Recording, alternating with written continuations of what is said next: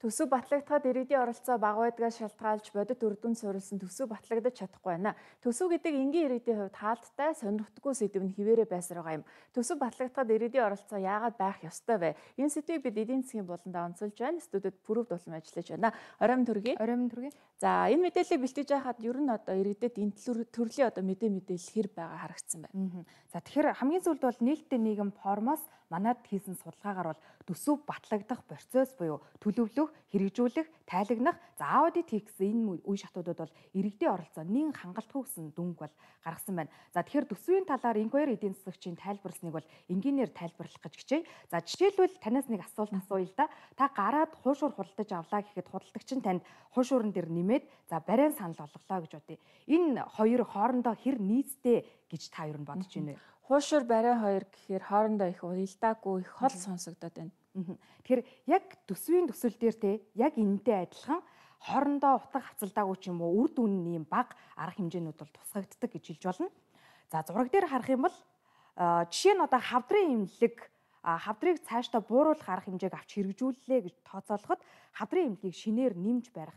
За эсвэл импортоор орж ирж байгаа эмэн дээр хөнгөлөлт үзүүлэх гэх мэт ийм арга хэмжээнүүд бол урт хугацаанд үр дүн бага юм аа. Өөрөөр хэлэх юм бол хавдрыг бууруулахад энэ мэт арга хэмжээнүүд бол хэрэггүй иргэдэж чиглэсэн бодлогын арга хэмжээнүүд бол маш хоорондоо уялдаатай юм арга хэмжээнүүд болно гэдгийг энэ зурагнаас бол харж болно.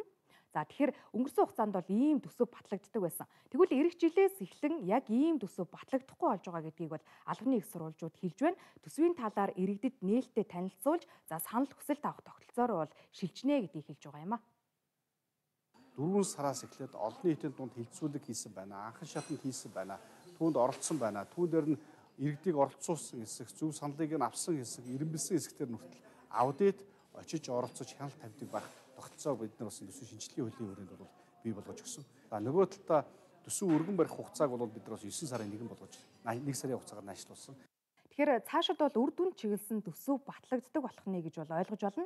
За уламжлалт төсөв болон үр дүн чиглэсэн төсөв хоорондын ялгааг бол дэлгэцэн дээр давч харуулъя. За уламжлалт төсөв бол одоо харагдаж байгаачлан байгууллага оршин тогтнож байгаа учраас төсөв өгч байгаа мэт. За орон тоо болон тогтмол зардал бол байн гардаг байсан. За тэгвэл үр дүн чиглэсэн төсөл бол энэ байгууллага юу хийдэг вэ? Яагаад бид одоо төсвөөс энэ үйл ажиллагаа арга хэмжээг үйлчлэгийг санхүүжүүлэх ёстой вэ гэдэг дээр илүү анхаарлаа төвлөрүүлнэ. За ингээд товчхон харах юм бол хамгийн сүүлд бол үр дүнтэй, үр ашигтай байгаа хэсгэд бол уламжлалт энэ төсөв бол огт анхаардаггүй дүн шинжилгээ бол хангалтгүй байдаг байсан бол за үр дүн чиглэсэн төсөв бол өөрчлөлтийг одоо юугаар хэмжих вэ? Зарцуулсан мөнгө ямар үр дүнд хүрч үр нөлөө нь юу байсан бэ гэдэг дээр голчлон анхаарах болж байгаа. За төсөв бол иргэний амьдралыг амьдралын чанарыг бол сайжруулах, ядуурлыг бууруулах ажилгүй иргэдийн тоог багасгах гэх мэт бол бодит үр дүнд бол чиглэсэн байх хэвээр. За тэгвэл Монгол улсын ажилгүйдлийн төвшин бол бусад улс орнуудтай харьцуулахад харьцангуй бага байгааг бол судалгаагаар гаргасан байна. За энэ судалгаа бол 2023 онд олон улсын хөдөлмөрийн байгууллагаас гаргасан судалгаа байгаа. За харах юм бол Монгол улс өндөр орлоготой орнууд болон бага орлоготой орнуудтай харьцуулахад ажилгүйдлийн төвшин эрэгтэй эмэгтэй хүйс нийт төвшингээр бол харьцангуй өндөр байгааг бол энэ графикаас харж болно.